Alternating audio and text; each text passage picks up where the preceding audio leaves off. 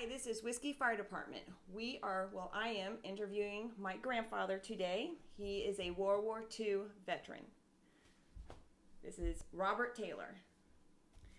All right, Papa, are you ready for this? I'm ready. Okay, well, we're going to I'm start. more nervous now, now than I was during the battle. Oh my gosh. Well, you shouldn't be. It's just me, your granddaughter.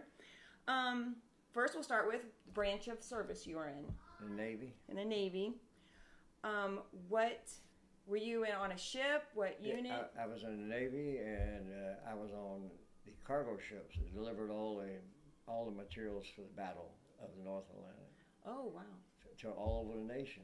And uh, my run on my ship was to get supplies to Ru- Russia, which was, the Germans had them baffled, and no, they ran out of food, plane. They ran out of everything. They were desperate for. So you're the ones that delivered all the food to Yes. Russia. I and many others. uh, They had been during that war, and there was 400 ships assigned to bring supplies to Russia. They needed it to turn the tide. Russia had run out of food, ammunition, planes, and had nothing to fight the war with, Wow. including food. And they were desperate. And he, and the Germans had done the same thing. They went so far north, and you know, they ran out of their supply lines. The hard freeze come, and they were frozen and couldn't move. The Russians couldn't move; they had no supplies, and the convoy was had every ship that had attempted to get there ahead of us. 350 of them never made it. Wow. Out of the 50 that left, the admiral came aboard and told us any any ship that got through, if only one ship got through, it would be a victory. Everything was aboard they needed, including food. So it sailed, and make a long story short, it was devastating. Mm-hmm. Night battles, day in, day in, day out, and then two, we finally got through with out of th- out of 50, only 37 of us got there. Wow. And he started with 400. It, it was 400 went ahead of me, And including then- the 50 I was in, but What? none of the 350 had made it. None, not the first one. So the admiral said if one ship got through, it would be a success. We Was this towards the end of the war or the beginning Yeah, of the war? it- no, no, it was towards the end of the war. It was when uh, in the war ended in I forget anyway, but it was the last. It, it was the first full year of the war. In other words, the war started in fall, but it was the first year, and it was one year underway when I went to Russia. But that they, the Germans had already advanced so fast, they, they fast as their tanks would run, they advanced because of no hmm. opposition. But the cold weather froze them; they couldn't move. So the Russians, with the same token, they didn't have any any food, any supply. Not, everybody was stalemated. So when we got through with the 37 ships, they had enough supplies, enough ammunition, enough everything to turn the war, turn the battle. wow. And the cargo that I helped deliver won the battle for the Russians in that German. Did you realize at that time the significant of you the significance of you delivering it? Were y'all very, aware? Very much so. Yeah. I was just a young kid. I wasn't scared of danger. I didn't Yeah. know what danger was. How old were you? 17. Oh my. They let you join Yeah, at yeah. 17? I couldn't. I, I never was 17. War started in December Mm. of 41, and I was 17 in December. No, in March of 42. Wow. So I had to wait four months to join. and you were you wanted to join. You I didn't did. I always wanted a sailor's uniform. Yeah. Is that why you wanted the sailors? Because it looked debonair. Yeah. But That's once exactly you what I wanted. well, once you started, you, you after boot camp and all that, did you realize what you gotten yourself into? Are you proud Absolute- of yours? Absolutely. Yeah. They trained us for us. They Mhm. trained us how to shoot down planes, how to shoot a submarine out of the water. They trained us with ammunition. And, and I was trained as a gunner. Mhm. And I, I could fire any gun the Navy had, Yep. any gun aboard that ship, I could Wow. fire it. And I, and I was better at, at firing a machine gun than I was anything else because my father taught me how to wing shoot. And wing shooters mean you've got to determine the speed of your target and where to put the bullet. Wow. So he was training you for war, and he didn't even know it. I, no, I, I certainly did. I Yeah, helped win the war. Didn't Mhm. you know? The Russians were so desperate for food when we got there. The, the harbor froze over as soon as we got in, and they were eating our garbage. Any garbage we Wow. threw, they ate it. You don't hear about that. No. It, I don't hear about nothing like that. But Did you go out on the in, into Russia once you got Yeah, there? Did oh you- yes. Uh, being a young like? sailor, I Yeah. wanted to get out and find female companionship, and, and there were more female. There was no men. Yeah, on the No- ship. no yeah, men, there was no no men on the ship. They all dead then. or fighting. Oh, th- oh, I see what you're saying. This is before you met Grandma, so you were willing, right? I- was looking for female companionship, but I didn't Why find. not a Gra- I didn't find Grandma there. I found her in New Yeah. Orleans. Which, yeah, New Orleans is But- awesome. But anyway, but Yeah. that was the most awesome thing I ever seen in my life. I, I couldn't believe what I was seeing. Yeah. Uh, it was amazing. I bet your young eyes never Oh, seen oh, anything yes, like and, that. And the planes we shot down, uh, we saw planes that the Russians had shot down, and they were on the banks, and some of them even still burning after they shot them down.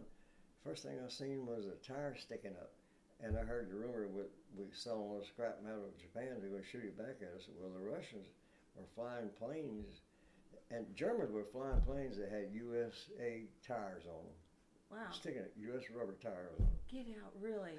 I didn't know that. I, I mean, I didn't know that. No, I'm I'm sure a lot of people didn't know that. No. So we were well. So um. So once you got onto Russian land, how long were y'all there before you Uh, head okay, back? okay. It, it took us when we left. Got when we finally got through, and they had an Mm-hmm. aircraft carrier with us. All the escorts left us, but the aircraft stayed with. us. They escorted us into the harbor, shooting down the German bombers that were after us. And when we got there, you had to wait for another convoy to form. Yeah. You couldn't go out by yourself, so we waited two months to get. Wow. So you were there for two months. Um, sorry about that. Uh, so did you ever see a German sh- shoulder um, soldier, or did, did you get that I- close? I, or I, so I had never realized I'd killed anybody. yeah, I never realized I shot a plane down. I never thought about killing somebody. Yeah. But when I shot them planes down out of the sky, I was glad to see them tail spinning and go.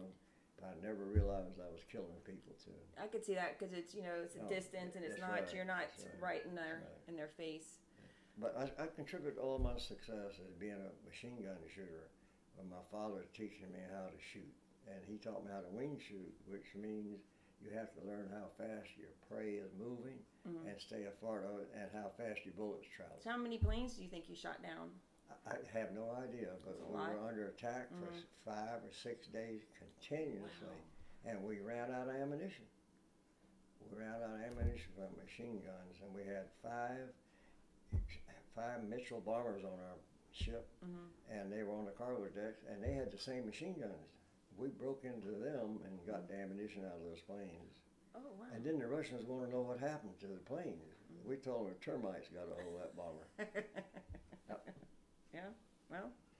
But it was under attack, and when when we left, it, you know, and the seasons there, Mm. sometimes all daylight, no darkness. Yeah. Wintertime's all black and no sunshine. But we were under attack 24/7 while we went because it was daylight. Yeah.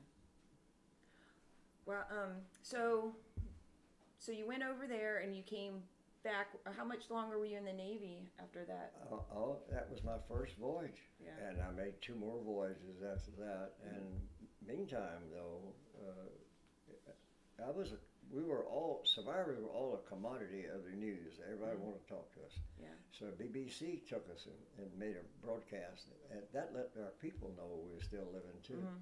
But they they enjoyed hearing from us. Yeah. They made a point to do that. So that was my first ship, and and and out of the 37 that got there, only 13 ships got back. Wow. 100 men. So, um, I have some questions. Now, let's go back a little bit. When you joined that, so and then when you joined the Navy, you didn't get drafted. The draft was going on, correct? Correct. But Yeah, they were mandatory. yeah, mandatory. But you you signed up I yourself. signed up voluntary. I think people also need to know. My grandfather was 11, was the first of 11 kids. He's the oldest. They lived on a farm in Jacksonville. um, Sharecropper. Sharecropper. Yeah, sharecropper. So they, everything you ate really was from the I- farm. i- If we didn't grow it, shoot it, or catch it, we didn't have nothing to eat.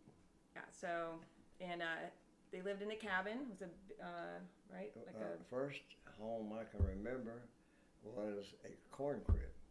My, my mother Mm. was given a corn crib to live in. First thing she done was cleaned it out, cleaned the floors, and we did have a floor in the corn crib to keep the corn from going outside. But so my home that I can remember first home was a corn crib. That's crazy. I mean, to think about that now, it's like the, I think about this now, and I give thanks that I got what I got. absolutely. And so yeah, he was the first. Um, the youngest, the same age as my mom. So, my great grandmother, great great grandmother, no great grandmother. I mean, she was. She had a lot of kids to help out with that farm, and your grandpa, my great We had eleven kids in our family, eleven children. eleven children. So They've the all only done really well. entertainment Mm. a, a lady got back in those days was having children. Yep, that was that was the That- job. Uh, No, and that, that's what they enjoyed. Yep, Loving companionship. you know, and Stayed family. Pregnant, stayed pregnant all the time. Yep, and it's about family, and that's how you're able to have that farm. Correct? Was having the family You had do to it work together. It. You had to work help it. work it.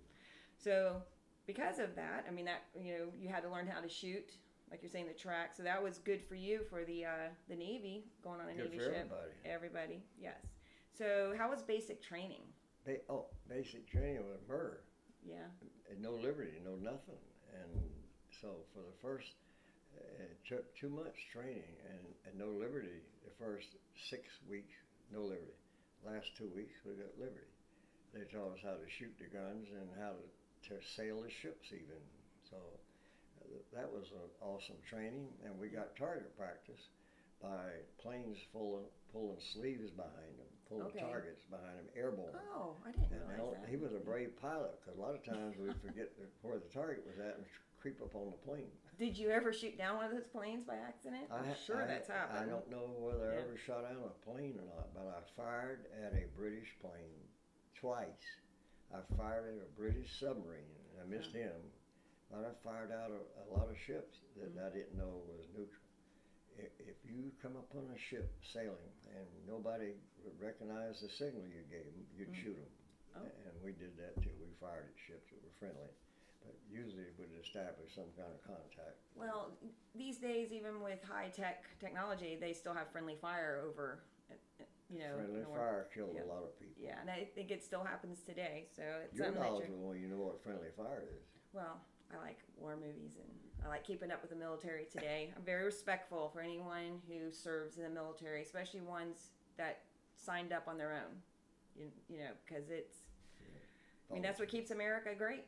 Yes. People like And you, the greatest also- generation. Also uh, decorated by two governments. I got the presidential citation from my government and the Red Star from the Russians. I did not know you got the Red Star from the Russians. Yes, I did. And I could have went there and got it. And there, they, I could have went right to their ambassador in Washington and got it, got the Mm. star, but I didn't want to go.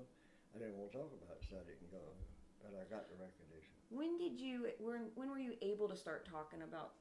When you first got back from the war I didn't want to. I didn't want to hear about it. I didn't want to talk about it. And I, I'm still still hesitant about it. But the public needs to know. That's one reason. Historians need to know. That's one reason why I'm doing this is because I realize I'm. Someone needs to have your story because I was searching the internet about asking you questions and there's so many um, really neat sites for me to ask you know they give you a whole thing how to um, interview a world war ii veteran because they want to know for history because like some of the stuff you just told me i don't think you know was told or know about No, and I wear my hat today, and Mhm. a lot of people come up and ask about. Well, you're there's not many of you left No. so you're That's exactly what uh, Post 111 told me. Mhm. They had a they honored the veterans this Memorial Day, and there was only four of us there, World War II veterans. Yeah. They come to me after and told me they wanted me to spend a lot more time with them because they don't have very many in World War II. Yeah, that's neat. But you two, you all have something in common, something huge And- that is it's good for you guys. Another thing, I'm still mobile. I can still dance. And I know he does go. people can't He does up. can dancing, like twice a week, Grandpa. Once, twice, Two and three times. two or three. Sorry, two or three times. Um, I do have another question because this was I thought this was an interesting one to ask. Do you know? Do you remember exactly where you were when Pearl Harbor was hit? Yes. I remember what I was doing, where I was at, and, and who was with me. Okay. And it was my aunt, uh, uh, my mother's youngest sister. I was at her home because Mhm. they had a little more money than we did and had a little better. And so I was always anxious to go there, better food, better. And she lived closer to town. And I was rolling around on the front yard with my cousins when her listen to the music outside, and then they interrupted, to tell us about Pearl Harbor. It was devastating and shocking, and that's all we thought about. To go ahead and, and join it up, but none of us were of age. Yeah. And that when you were 17 then when that happened? No, Oh. I was uh, 16. 16. Okay. In December, I was 16, Yeah. and then uh, March. That's right, right, 'cause it's 17, I is when you- And you and how was the how was you know was it how was everyone feeling after that? I mean, I mean, I'm I'm assuming I know, but do, you were there. Was it did it just change how people felt about the war? I mean, it, the war was going on before It- we got in it. Devastating to everybody. Yeah. But but we were in a severe depression when that Mm. thing hit, so everybody was very poor. But uh, it hadn't been for the World War II, the United States would still be in a depression. Yeah. When they went to manufacturing goods for the, the armies, the navies, then they developed machinery and equipment and office buildings and warehouses and manufacturing plants that Yeah. would bring us out of depression. Yeah, and they put a lot of people to work. a lot of people to work because there was no money. But then uh, we we couldn't we didn't have refrigerators, washing machine, nothing you know, because we didn't have any money and nobody was manufacturing. But after the war, they converted the war effort in production into producing household goods, refrigerator and stove and so forth. You know, I uh, I went to Pearl Harbor. I went with, Yeah, and I went. Yeah. It's still amazing to me to see The- to see it and the feeling you get as an American, you know, going taking the boat over to where the ship were sunk, and you still could see the oil coming up from it. And you, even- was it seventy years later? Um, the the feeling you get, it's still like, it's amazing. Yeah. It was so. Yeah. And I still didn't want, I- I what I wanted to do is forget about it. I want to completely forget about it. Then I realized that here just in the last few years, I realized that was wrong too. So I'm It's- enjoying talking about this it. generation, the new generation too, uh, what they call the millennials, I think they want to know about it, but they need people like you to talk about it because we need to understand, helps understand our government too if you know what happened in the past because you don't want stuff to repeat. Every time I put on my hat and go anywhere, somebody stops me and thanks me for my service. I, I didn't want to do it before. I didn't want to think about it or talk about it because it would bring up bad memories. But every now I go out now, I never go without my hat. And every time I go out, something great happens to me. Every time I go, somebody stops me and thanks me for my service. Absolutely. I was in Cox Seafood here a while back, and a guy walked up to me and said, were you, "What were you in?" I said, "Navy." He said, "You did you ever get to Russia?" I said, "Yeah, I got to Russia. I delivered war supplies there." He said, "Well, my my father was fighting for the Russians, uh, and when they when the Russians fell, he'd already he would the Russians had him as a prisoner. Then the Germans Yeah. got him, and he was still in captivity when they fell, and the Russians liberated him. And the guy walked up to me and, and gave me a hug, and thanked me. And then when I walked out the Cox Seafood store, I started to pay the bill, and he says, "Your bill's been paid." Oh wow, that was so nice. And it happens to me all the time at Walmart different places. Yeah, because I'm you know growing up, you didn't really talk about it. I think um, last few years, probably last five six years, I really, I mean, I always knew you were a war too, that you're in the Navy because I've seen the pictures, but you didn't really ever talk tell us stories. I've noticed lately. That's why I knew you'd probably be willing to do this. You've been talking about it. I mean, I've seen you um, on the Victory ship, you know, doing whenever the ship that's in our in Tampa Bay. Well, well, I your fellow firefighters when I went to Mm. with you uh, uh, approached me Yeah. wanting to talk about it, and I wanted to hear about them as much as they wanted to hear about. The other day I- when I retired, yeah, everyone's interested. Once they're like, "You have a World War II grandpa?" I'm like, "Yes, I, I know it's very special. I know what he did was amazing, and I'm lucky he lived through it because I wouldn't be here." So, especially when you tell me how many ships made it to Russia, only 13 ships out of 400 got back. that's just That's a lot of life lost. that is a lot of life lost. devastating. I mean, I, we don't even even the lives that we're losing now, the battles that we have, or the war going on overseas, is still not comparable to the amount of men that we lost back then, and how the world, how our America would look horrible. with if they did live. Yeah. The, the Battle of the North Atlantic was the greatest loss of life in any military venture ever made. Greatest loss of life because it Yeah. kept on going, kept going on, on and on and on. It needed it. And, Infantrymen's in the battle, you get there and the battle's over with. There's no more. Yeah. With the Navy, it was just it continues. just continued. So you were saying that one battle went, went on for four or five days before y'all could. Was that actually out in sea or did it go? Yeah, no. As soon as we, the, the Germans complete controlled the North Atlantic. Yeah. They had they had Finland. Mhm. They had all the lands in the world that joined the North Sea and the uh, oceans, and they had their cruisers, battleships, and everything else hid in the fjords in North in Norway, to where nobody could get to them.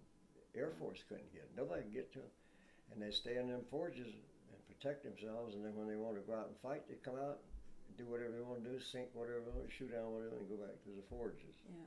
So they were protected there, and the Germans completely controlled the seas, and the Jap- Japanese controlled the Pacific. The Russians had it in the North Atlantic. Russians had a battleship, the Von Turbers, in South America when they caught it and sunk it. So they, they were everywhere worldwide. Wow. I couldn't even imagine I- being a I- young I was boy shocked. I was there. as a kid. I was shocked to find out that the Russians had had the Germans had complete control of the world, Mm. and Hitler figured with his victory at sea, that's what they call a TV show. Mm. He, he could just go ahead and conquer the world, and he come close too. He did. And the only mistake he made, if he'd have went ahead and invaded England, it would have been all over with. him. But he hesitated, and that gave us a chance to get all the equipment, and all the ammunition, all the supplies they needed to kick their fannies in Germany. Well, I'm just gonna say God And was definitely on our side. Russia. It sounded like it was um, a lot of prayers and God helping out with that because So for him hesitating and then us getting the supplies there. Wow. So I think um, we're going to end it here for this episode. We're going to do a part two. I'm coming back next week, and we're because I'm there's just so much to talk about, and uh, absolutely, And I can get more I'm, good I'm questions. proud to be having a, one of my most successful granddaughters interviewing me. yeah. Well, I'm I'm loving this. This is going to be something for the future or for our family too. I'm making it so I can give it to my kids when they get older, their kids. They have They'll want to know about it. absolutely in the firsthand and i'm gonna you know i would like to ask more questions you know you as a boy out there what you did on the ship you know fun stuff Yeah. entertain And, and that, right now, right now, it's a blessing to go back aboard that ship. I go aboard Yeah. that ship. Every gun on that ship, I've fired it many times. uh, the victory ship we're talking Yeah. about it's in uh, tampa bay harbor and he goes at the dancing there every once in a while they have like they have functions there for you guys Abs- and he does tours right you do tours there Yeah.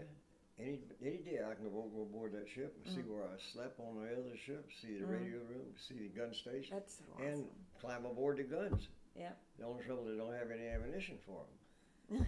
you're like No darn it firing pins. Hey, you could be like that movie um, Battleship. You know, those aliens come vi- um, come down and they actually use an old ship like that, and they get War II veterans to use the ship because they're the only ones that know how to use it.